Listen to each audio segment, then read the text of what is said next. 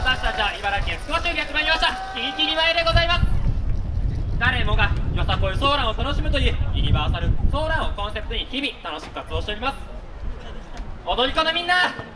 神栖ぶっちゃけ祭り2日目一発目の M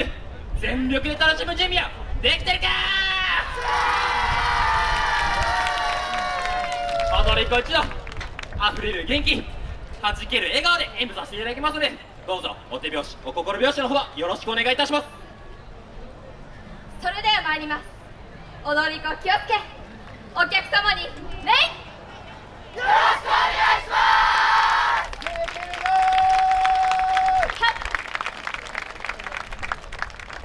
つくばねのずめこ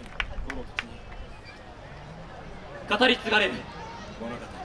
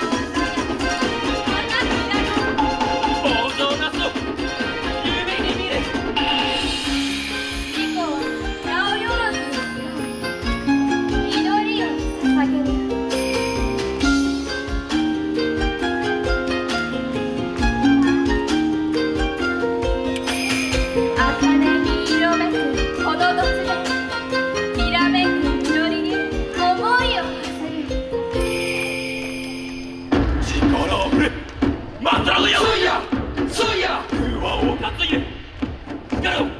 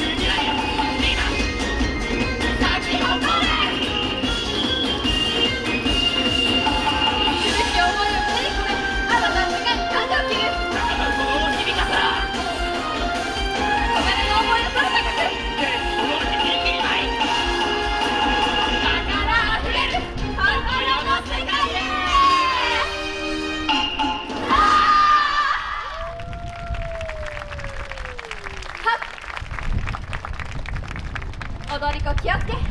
見てくださった皆様に